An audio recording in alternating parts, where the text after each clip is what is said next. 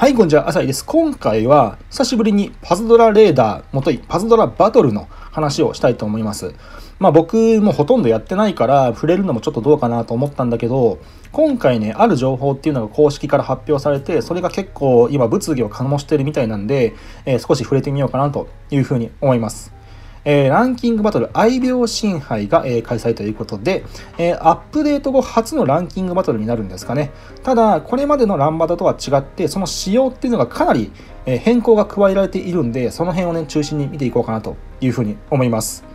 はい。え3月23日月曜日から29日の日曜日1週間ですね。え全国のプレイヤーとバトルポイントを競い合って豪華報酬を手に入れよう。っていう感じですね。で、今回から、えー、ランキングバトルチケット制というね、新しい制度が導入されます。チケット制とは何ぞということなんですけども、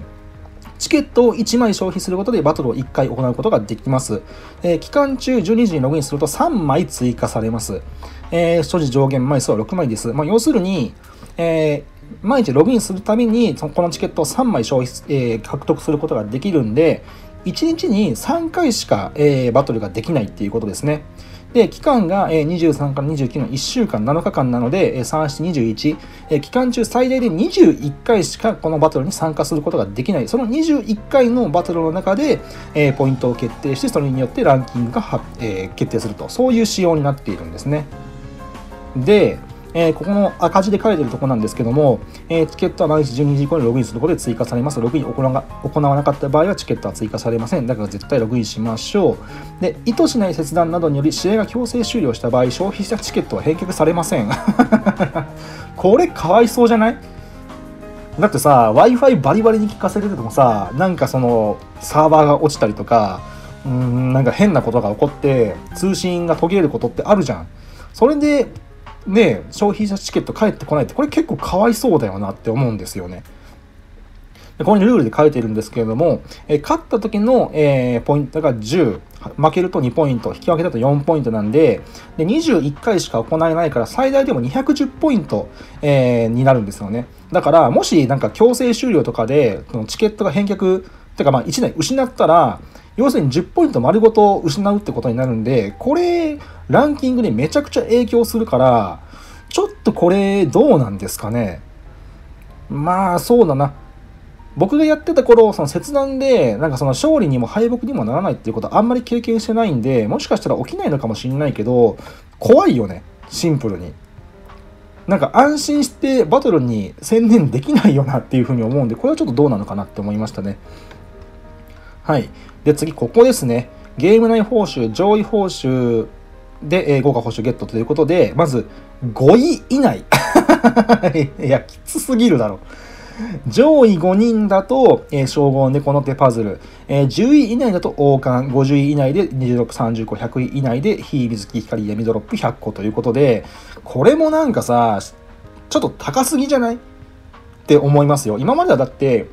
パーセンテージで決まってたじゃん。上位10%で、えー、全部の報酬がもらえる1%だったら王冠っていう仕様だったと思うんだけど、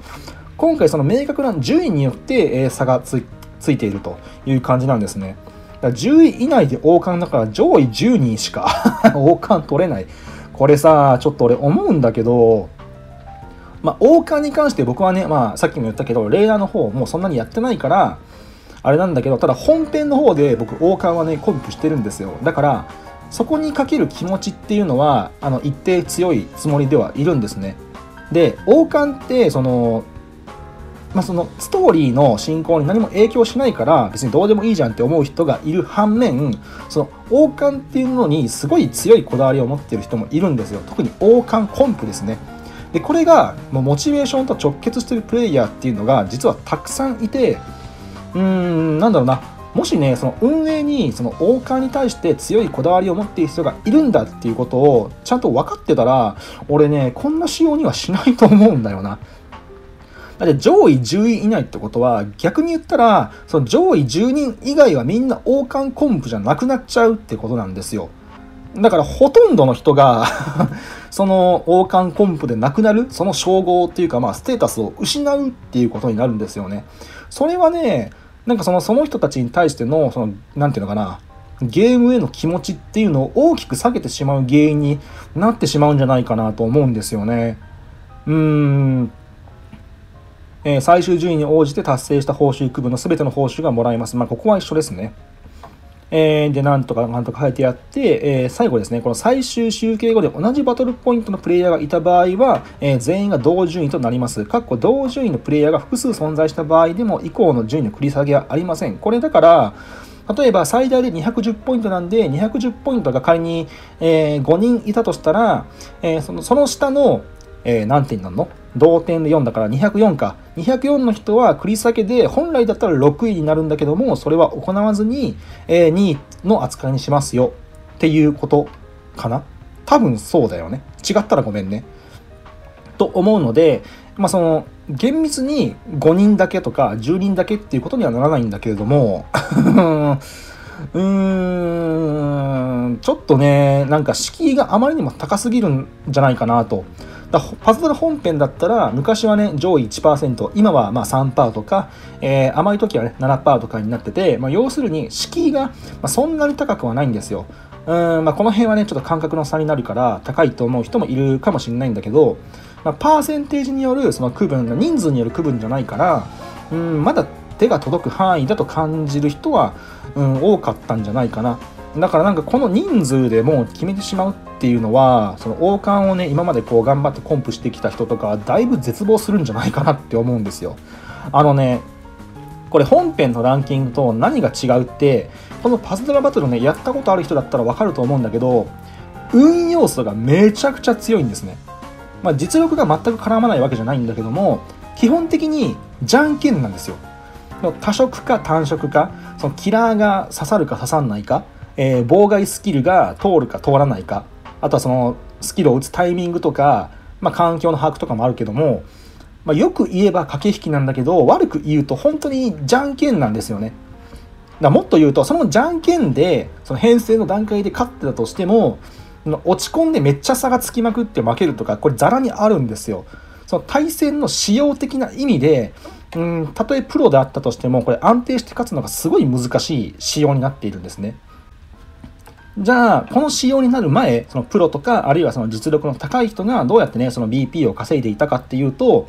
えー環境をしっかり把握して、まあ、少しでも勝率の高いパーティーっていうのを組んで、まあ、場合によっては使い分けて、で、あとはね、試行回数ですね。もう試行回数が多分一番大事だと思います。